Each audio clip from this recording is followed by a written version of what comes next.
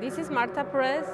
and I was uh, so impressed with uh, Lisa because I like when she speak about the imposters, and then I like when she made uh, some examples,